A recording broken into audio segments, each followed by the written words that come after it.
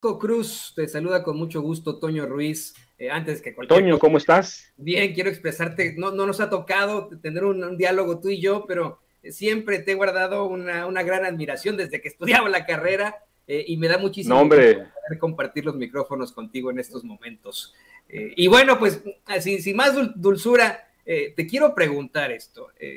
cuando empezó la acusación, cuando apenas el Departamento de Justicia de los Estados Unidos detiene y acusa formalmente a Genaro García Luna de conspirar para traficar cocaína y de recibir millones de dólares del cártel, eh, de un cártel para operar libremente. Vimos a un Vicente Fox muy calladito. Durante varios meses hasta podríamos decir que se volvió Amlover. Dejó de, de, criticar al gobierno de López Obrador.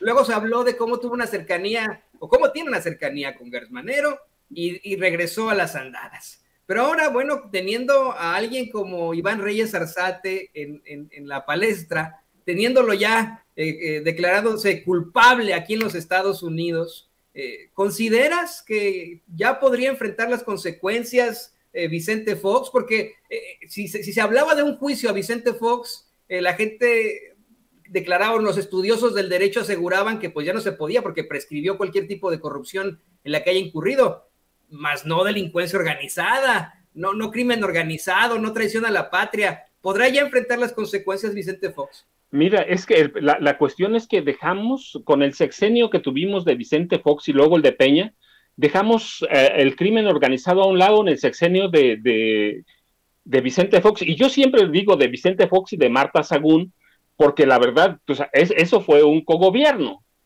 Y los dos le, le delinearon la AFI. Mira, hay muchos elementos, bases, hay pruebas de que ellos conocían el involucramiento de, Iván, de, Genaro García Luna y toda su pandilla, porque es una pandilla que viene desde el CISEN. Eso lo documenté muy bien.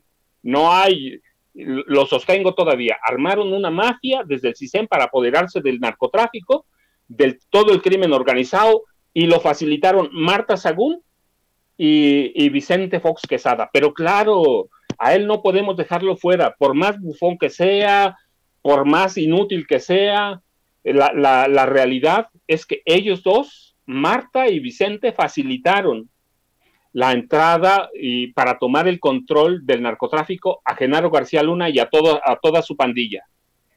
A ellos le, le, abrieron las puertas porque recuerda que Genaro García Luna había traicionado al PRI para entregarle a Fox y a Martita todos los secretos de la corrupción priista.